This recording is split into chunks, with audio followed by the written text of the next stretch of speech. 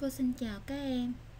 À, Hôm nay à, chúng ta sẽ bắt đầu phần 2 Lịch sử Việt Nam từ thế kỷ 10 đến giữa thế kỷ 19 Phần lịch sử Việt Nam từ thế kỷ 10 đến giữa thế kỷ 19 thì à, chúng ta sẽ học những cái nội dung trong cái khoảng thời gian này là nhà Ngô, nhà Đinh, nhà Tiền Lê, nhà Lý, nhà Trần, nhà Hồ. Nhà Hồ tồn tại đến năm 1407 thì quân Minh sang xâm lược nước ta với cái cớ là phù trần diệt Hồ.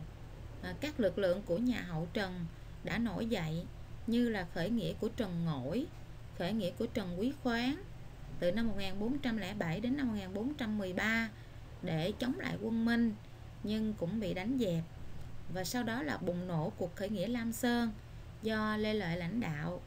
Khởi nghĩa Lam Sơn diễn ra từ năm 1418 đến năm 1427 thì à, giành thắng lợi hoàn toàn à, với chiến thắng Chi Lăng Sương Giang và Lê Lợi lên ngôi vua lập ra nhà Hậu Lê. Nhà Hậu Lê à, từ năm 1428 đến năm 1527. Giai đoạn này còn được gọi là nhà Lê Sơ sau đó là nhà mạc. À, khi mạc đăng dung cướp ngôi của nhà hậu lê và lập ra nhà mạc. Rồi đến thời nhà lê trung hưng à, đến à, thời kỳ chúa trịnh chúa nguyễn sau cuộc chiến tranh trịnh, trịnh nguyễn. Nhà tây sơn và cuối cùng là nhà nguyễn tồn tại từ năm 1802 đến năm 1945 Năm 1945 là đời vua cuối cùng của Triều Nguyễn, đó là vua Bảo Đại. Nhưng thực chất ra là năm 1858 khi Pháp sang xâm lược Việt Nam, thì Triều Nguyễn đã mất vai trò đứng đầu đất nước của mình. Chỉ còn tồn tại là một nhà nước phong kiến bù nhìn mà thôi, nhất là sau cái hiệp ước Paternos Trong phần 2 lịch sử Việt Nam từ thế kỷ 10 đến giữa thế kỷ 19 này à, chúng ta sẽ bắt đầu từ chương 1 buổi đầu độc lập thời Ngô Đinh Tiện Lê trong thế kỷ 10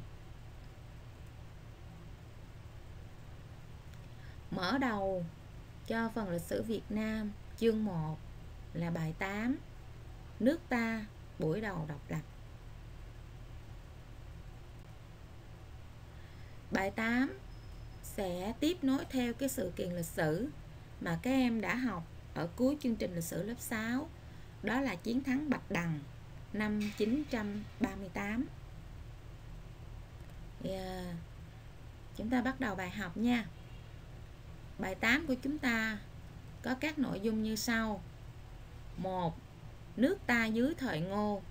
À, đây là cái mục đã được tích hợp từ phần 1 và phần 2 trong sách giáo khoa, theo hướng dẫn mới của năm học này. Và phần 2 là Đinh Bộ Lĩnh, thống nhất đất nước. Như vậy bài 8 của chúng ta có hai cái nội dung này.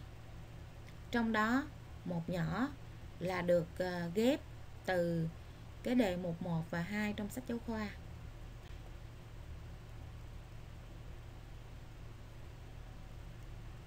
Trong phần 1 nước ta dưới thời ngô, thì chúng ta sẽ nói hai ý lớn. Một là ngô quyền dựng nền độc lập, và ý thứ hai là vào cuối thời ngô, thì tình hình chính trị trong triều đình nhà ngô đã diễn ra như thế nào? Cô mời các em đến với câu hỏi đầu tiên. Sau chiến thắng Bạch Đằng năm 938 Ngô Quyền đã làm những việc gì? Để trả lời được câu hỏi này thì chúng ta sẽ đọc sách giáo khoa và chúng ta sẽ thấy được những việc làm của Ngô Quyền sau khi đánh thắng quân Nam Hán trên sông Bạch Đằng vào năm 938. Đó là những việc làm lên ngôi vua, chọn cổ loa làm kinh đô, rồi bỏ chức tiết độ sứ và thiết lập chính quyền mới. À, đây là những cái việc làm nhằm để à, xây dựng nền độc lập tự chủ mới sau khi giành được độc lập. Trong những việc làm đó của Ngô Quyền thì à, chúng ta cũng có thể nêu rõ hơn cụ thể hơn những cái việc làm của Ngô Quyền trong việc thiết lập một triều đình mới như là vua đứng đầu, quyết định mọi công việc, đặt ra các chức quan, văn võ, quy định các lễ nghi trong triều đình. Rồi ở địa phương thì cử các tướng trông coi các châu quan trọng và dưới thời nhà ngô thì đất nước được yên bình. Vậy trong những cái việc làm này của ngô quyền thì việc làm nào là quan trọng nhất. Trong những cái việc làm để xây dựng nền độc lập tự chủ của ngô quyền mà chúng ta vừa nêu đó thì cái việc làm nào là nó mang cái ý nghĩa quan trọng nhất? Đó chính là việc bãi bỏ chức tiết độ sứ. Bởi vì cái chức tiết độ sứ là cái chức quan mà triều đình phong kiến phương bắc đã cử người đến à, giữ cái chức vụ này để cai trị nước ta thì cái việc bỏ chức tiết độ sứ của ngô quyền là để khẳng định nước ta từ nay không còn là một nước phụ thuộc nữa không còn là một nước bị phong kiến phương bắc đô hộ nữa mà là một nước độc lập. Và đứng đầu nước độc lập là vua vua của mình của nước mình.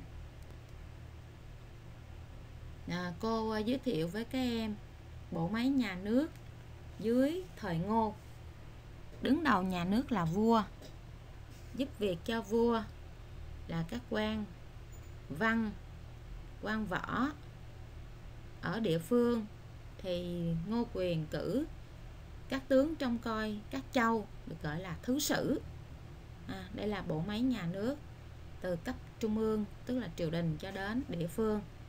Thì qua cái sơ đồ bộ máy nhà nước này của triều ngô chúng ta có thể nhận xét được rằng cách tổ chức rất là đơn giản. À, tuy đơn giản nhưng ý nghĩa thì rất lớn. Vì đây là bộ máy nhà nước. À, cô mời các em ghi bài. Phần 1 nước ta dưới thời ngô.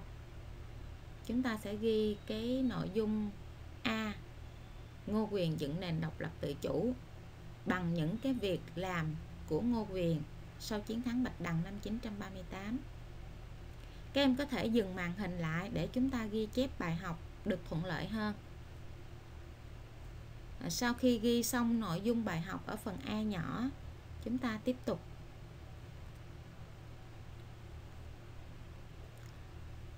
Đây là sơ đồ cô đã tóm lược về tình hình chính trị cuối thời ngô.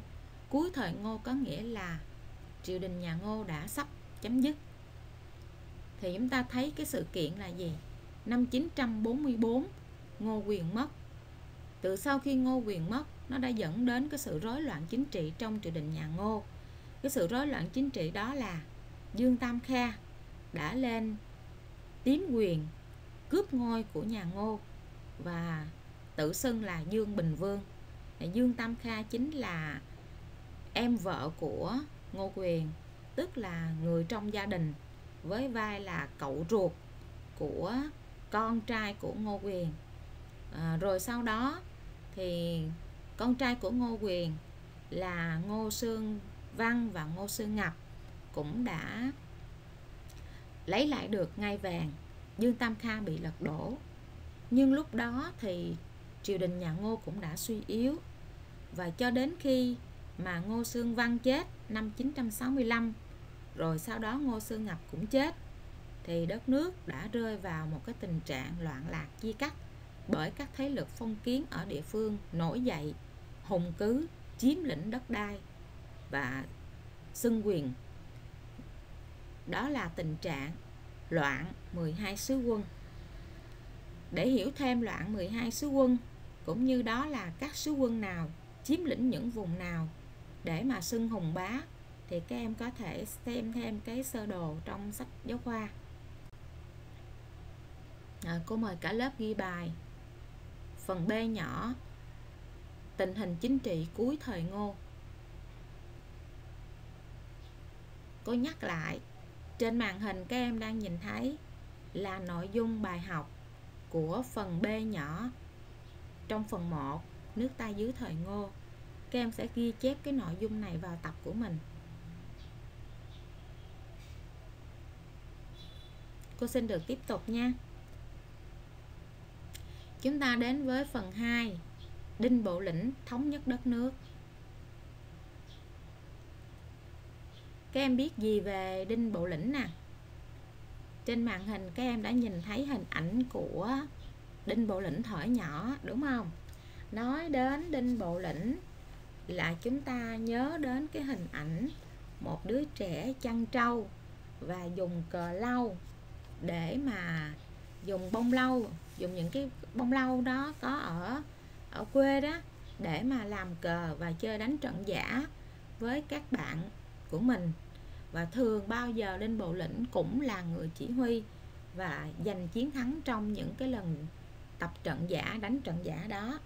À, như vậy nói về nhân vật Đinh Bộ Lĩnh thì chúng ta nhớ đến cái hình ảnh thời ấu thơ của ông đó là hình ảnh cờ lau tập trận. Đinh Bộ Lĩnh là người động Hoa Lư ở Ninh Bình là con trai của Đinh Công Trứ. À, thuở nhỏ ông sống với mẹ ở quê nhà và thường cùng lũ trẻ nhỏ trong vùng chăn trâu chơi trò tập trận khiên kiệu và lấy những cái bông lau cỏ lau đó để làm cờ. Sau này giữa lúc nhà ngô suy yếu thì đinh bộ lĩnh đã cùng với những người thân thiết tổ chức lực lượng rèn vũ khí xây dựng căn cứ ở hoa lư. Và khi nhà ngô sụp đổ, cả nước rối loạn, rơi vào tình trạng loạn 12 sứ quân, thì đinh bộ lĩnh chính là người đã đi đánh dẹp và cuối cùng là đã dẹp được loạn 12 sứ quân.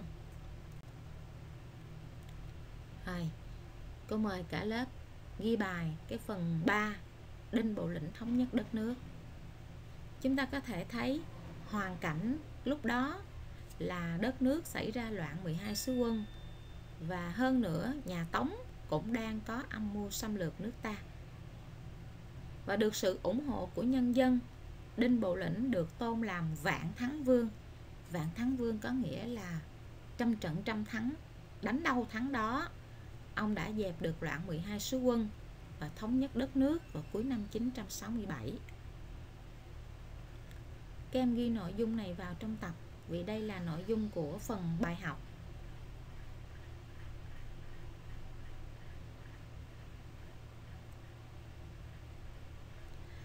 Đây là hình ảnh lăng vua Ngô ở làng cổ Đường Lâm, Hà Nội, tức là lăng của Ngô Vương, Ngô Quyền. Khi nhắc đến Ngô Vương, Ngô Quyền thì à, cô cũng muốn mở rộng thêm một ý, đó là khi lên ngôi vua vào năm 939 thì Ngô Quyền xưng vương chứ không xưng đế. Vương là vua của một nước nhỏ, còn đế là hoàng đế là vua của một nước lớn. Vậy thì chúng ta sẽ thắc mắc với câu hỏi là tại sao ngô quyền không xưng hoàng đế mà chỉ xưng vương tức là vua của một nước nhỏ?